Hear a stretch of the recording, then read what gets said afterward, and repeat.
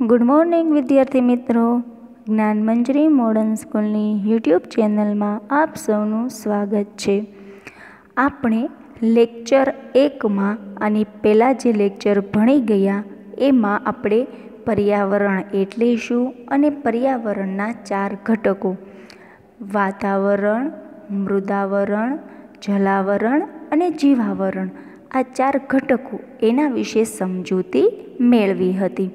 હવે આપણે આજે લેક્ચર બેમાં પર્યાવરણના પ્રકારો વિશે, તેના કયા કયા પ્રકારો છે એ, તેનું મહત્ત્વ તેની ઉપયોગિતા, એના વિશે થોડી સમજૂતી મેળવીશું. તો બાળકો, આપ સૌનું ધ્યાન અહીં. પર્યાવરણના પ્રકારો. હવે પર્યાવરણના કેટલા પ્રકાર છે? તો કે પર્યાવરણના પ્રકાર છે બે. પહેલું કુદરતી પર્યાવરણ અને બીજું છે માનવ સર્જિત પર્યાવરણ. એમાંથી આપણે પહેલાં કુદરતી પર્યાવરણ શું છે? એના વિશેની સમજૂતી મેળવીએ. હવે કુદરતી પર્યાવરણ છે ને, એના પણ બે પ્રકાર પડે છે. કેટલા પ્રકાર પડે છે?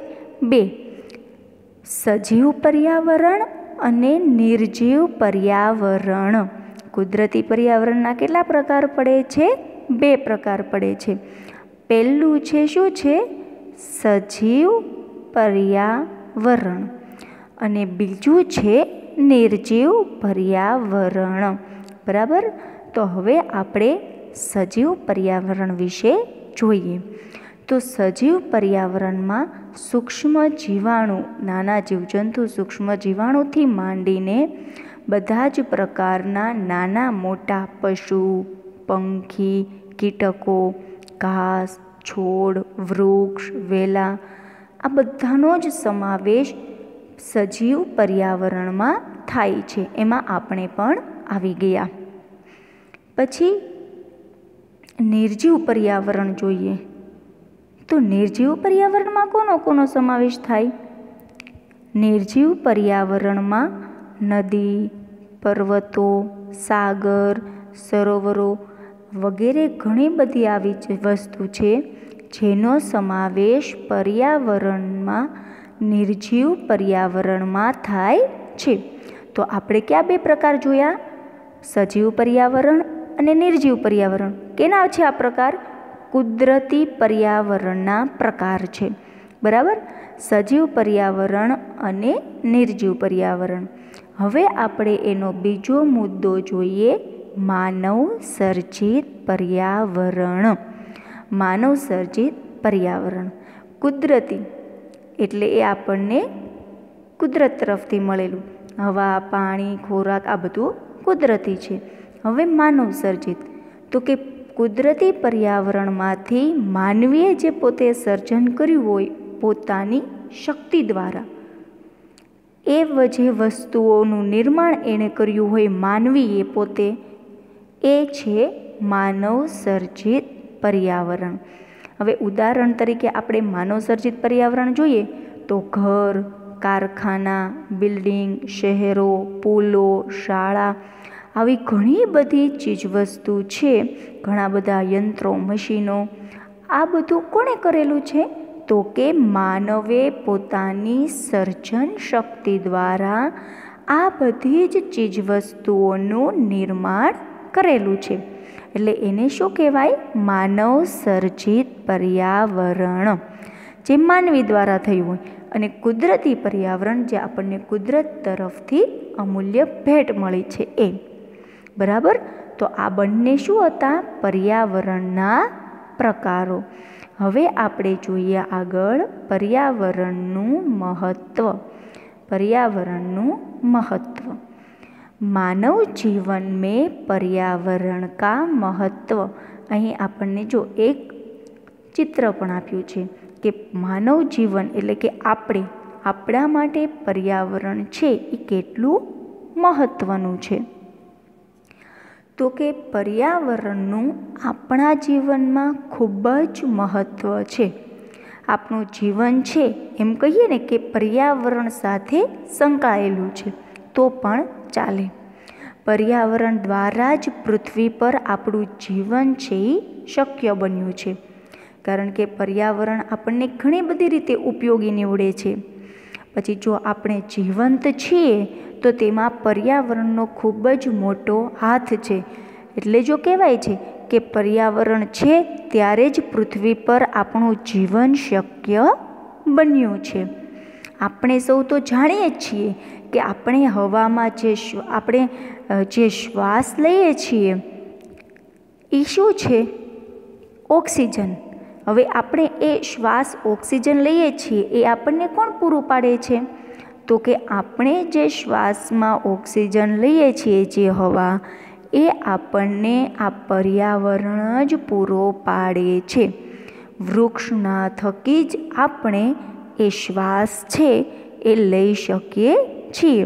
અને કાર્બન ડાયોક્સાઇડ જે આપણો ઉચ્છવાસ છે, એ આપણે બહાર કાઢીએ છીએ.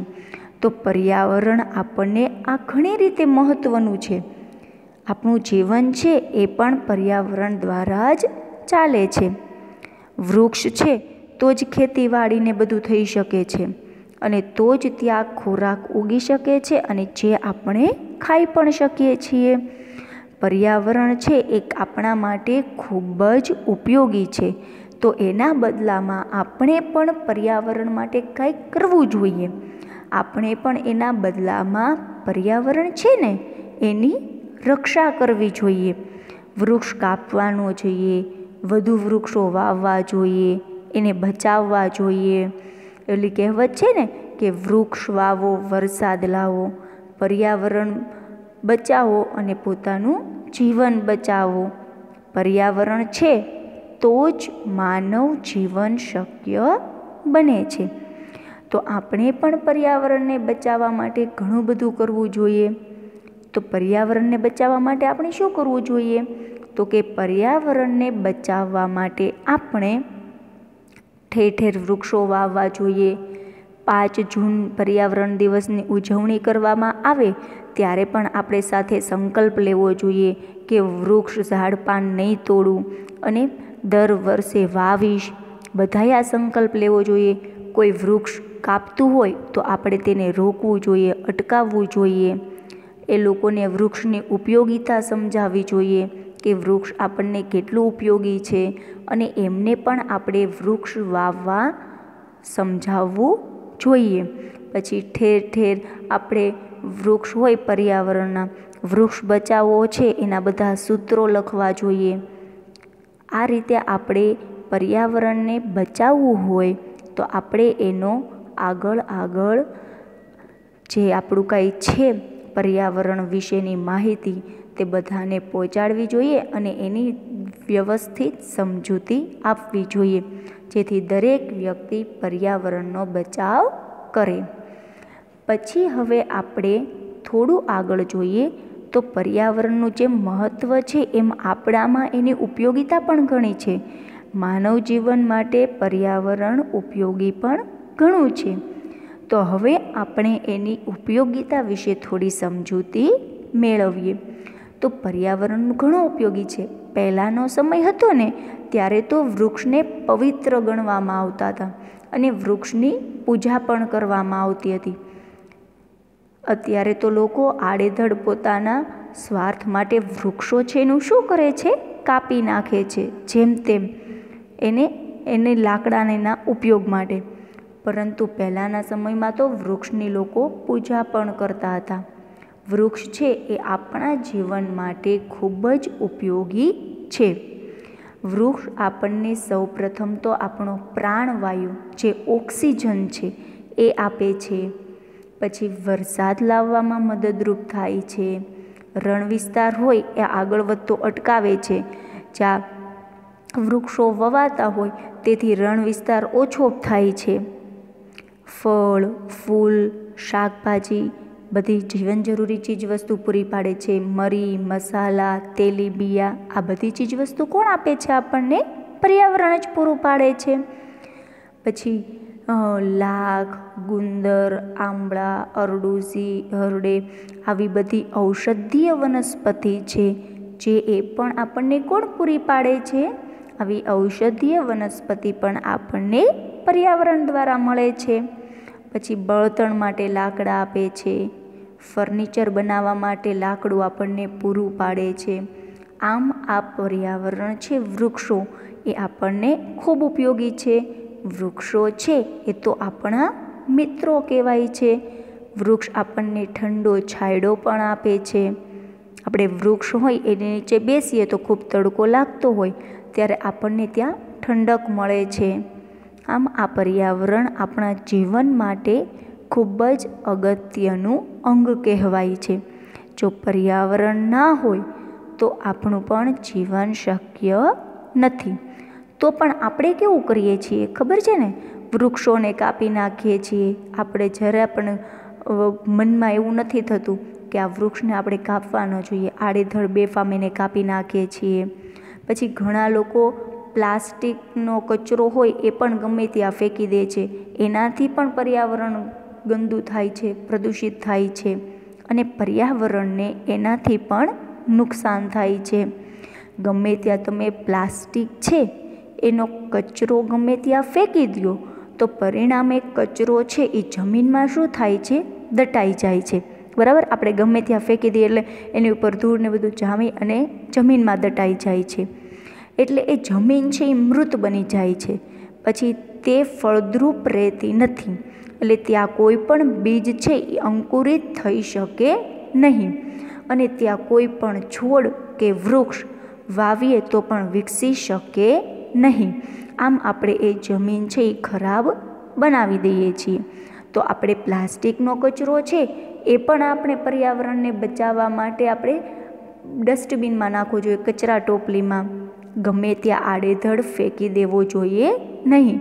એવું તો હવા પ્રદૂષણ, પછી ધ્વનિ પ્રદૂષણ, ઘણા બધા પ્રદૂષણ પણ પર્યાવરણને નુકસાન કરતા હોય છે. તો આપણે પણ પ્લાસ્ટિક ગમે ત્યાં ન ફેંકતા કચરા પેટીમાં નાખી દેવું જોઈએ. આમ પર્યાવરણનું આપણા જીવનમાં જોયું કે કેટલું બધું મહત્ત્વ છે. આપણું પર્યાવરણ છે એ આપણને કેટલી રીતના ઉપયોગી છે. આ હરિયાળીવાળા જે વૃક્ષ છે, છોડ છે, એ આપણા જીવનનું એક અભિન્ન અંગ કહેવાય. શું કહેવાય? અભિન્ન અંગ કહેવાય છે. મનુષ્યનું જીવન છે પૃથ્વી, જળ, વાયુ, અગ્નિ, આકાશ, આ પાંચ તત્વોથી બનેલું હોય છે. એના માટે આપણે આ પર્યાવરણની ખાસ જરૂર પડે છે. તો વિદ્યાર્થી મિત્રો, આપણે આ તાસ દ્વારા પર્યાવરણનું શું શું જોયું? તો કે પર્યાવરણના પ્રકારો જોયા, પછી એના કુદરતી અને માનવસર્જિત બે પ્રકારો જોયા. એમાં કુદરતી પ્રકારમાં સજીવ પર્યાવરણ અને માનવ નિર્જીવ પર્યાવરણ જોયું. પછી માનવસર્જિત જોયું, પર્યાવરણનું મહત્ત્વ જોયું, પછી એના ઉપયોગિતા જોઈ. પર્યાવરણનું આપણા જીવનમાં શું મહત્ત્વ છે? એ પણ આપણે જોયું. તો આપણે દરેક પણ બધાને પર્યાવરણની સમજૂતી આપશું, આપણને કેટલું ઉપયોગી છે એ જણાવશું અને વૃક્ષો વધુ વાવવા આપણે એ લોકોને પણ કહીશું. તો અહીં આપણો તાસ પણ પૂર્ણ થાય છે. આશા રાખું છું કે તમને ઘણી થોડી બધી પર્યાવરણની માહિતી મળી હશે. આ સાથે આભાર.